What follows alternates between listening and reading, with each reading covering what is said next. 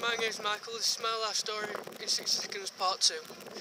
Um, I've always wanted to be a footballer ever since I was young. Um, my dad and my granddad inspired me um, and they also inspired me to support Sheffield United because they were big Sheffield United fans.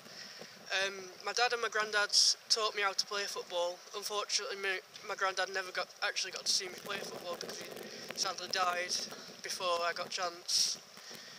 Um, hopefully one day I, will make it in future. I'm looking to go over to America soon. I had a trial recently to go over.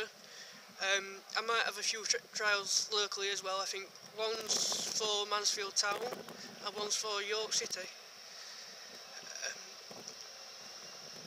Um, so, so, hopefully one day I, I will break, break in and get on someone's books because it's all I've ever wanted to do. Who, who famous have you met? Famous players I've met. I've met Chris Morgan.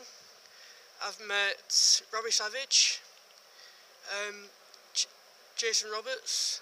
I've met Alan Shearer. Michael, this is the end of your life story.